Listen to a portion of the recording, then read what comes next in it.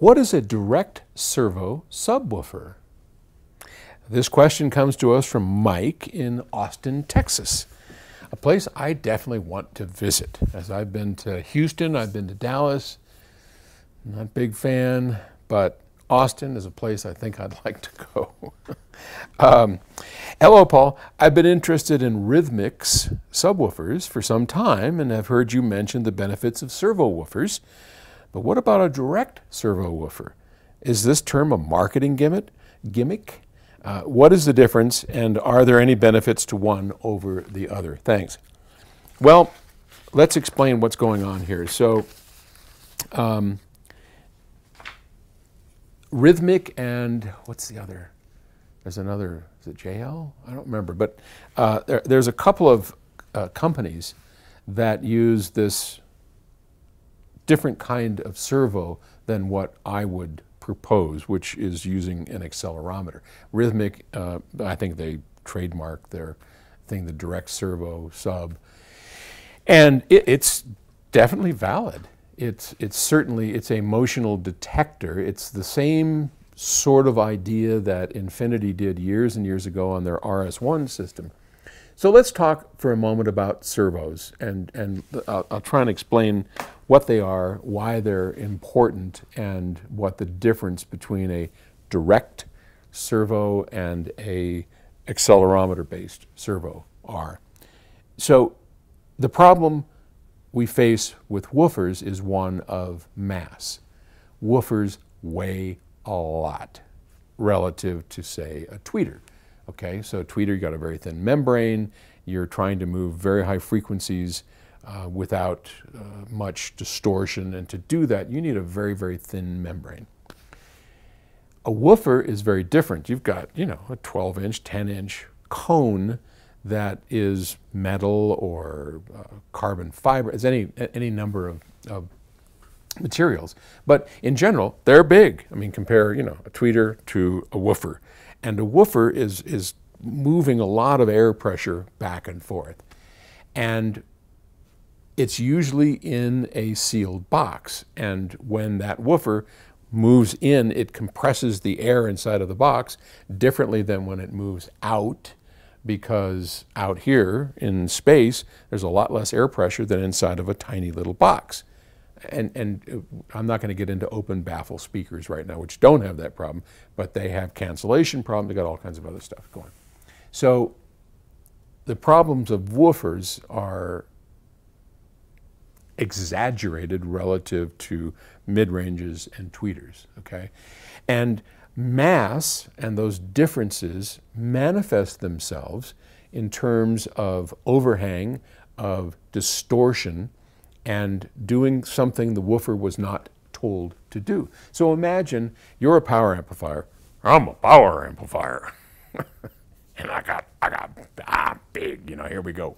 So you're a power amplifier and your job is to send out a signal that's going to put an electrical energy into this, this coil, and this coil is going to make a magnetic field, and it's going to oppose or attract from this big permanent magnet, and it's going to push this mass, this heavy mass cone away or towards the, the magnet. And that's what we're doing, right? And so uh, you're, you're a power amplifier, and you're told to take, take it up to here and then bring it on back. Well, when you do that, because of its mass, there's inertia. And inertia says, eh, I know I'm supposed to go back, but I'm going to keep going, just like somebody slamming on the brakes, right? You, you, you keep going through the windshield if you don't have a seatbelt on. So there's that problem. There's the problem of uneven pressure, so that as I move back, uh, the same amount of energy to move it this way is going to cause a different result because of the increased pressure of the box to uh, this, that an identical amount of energy moving it back this way where there's less pressure. So one of the things we can do is we can measure the movement of that woofer cone an, on an instantaneous basis and compare it to the input signal, what it's being told to do. And the difference between those two can be made up for by the amplifier. That's a servo system, okay? Just, just like a cruise control is a servo system. You set it at 70 miles an hour, you start going down a hill, the system says woo, and it pulls off on the gas. And you start going up a hill, it steps on the gas. Same, same basic principle. The difference in servo systems is how do we sense the motion of the cone, right? And there's a whole, oh man, I mean, there's been, there's guys who had lasers pointed at it and mirrors, and, you know, it's just, you can start dreaming all day long of how you would like to measure the movement of that cone in real time. The way it's traditionally been done by the, the woofers that I've been associated with, with Infinity and Genesis and soon PS Audio, is with a device called an accelerometer. An accelerometer is something you have in your phone. Every airplane in the world has them. Um, every phone in the world has it. And it, it tells you, you know, what, how you're moving the phone around. And it's basically a, uh, a device that is, that as you move it, it, it, it gets deformed. It's like a little disc. Well, there's a whole bunch of different kinds of ways to do accelerometers. But it's a physical device that at, that at rest it, it's not doing anything. As you move it, it slightly deforms and responds to that movement, converting that to an electrical signal, and then we do fancy things to it to uh, get what we actually want out of it, which is velocity and acceleration, et cetera. The other way to do it, and that, that's traditional, that's how we'll do it with an actual accelerometer element to measure that motion. And it's very accurate, and we can do lots of good stuff. Is it perfect? No, of course not. Nothing is. The Rhythmik idea is, is, is a much simpler system, and it uses another coil of around the voice coil, right? So, as I said, if you apply energy to a coil, you'll make a magnetic field. That's the voice coil, right? We put energy from the power amp into a voice coil, it creates a magnetic field and it pushes it away from a permanent magnet or it pulls it towards it. Well, the opposite is also true.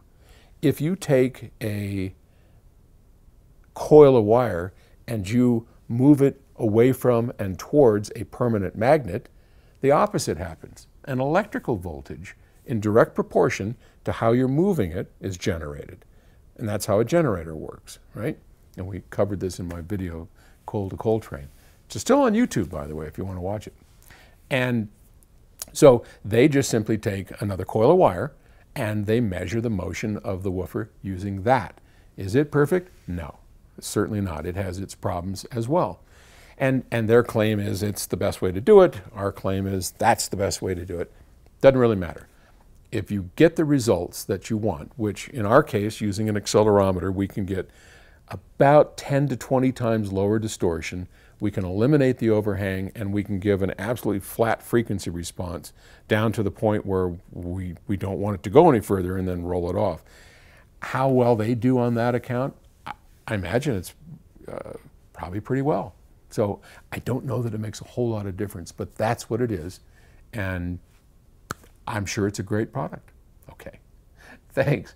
Uh, I hope that didn't get overly complicated. I didn't mean for it to, to do that, but I'll talk to you tomorrow. Okay. Bye.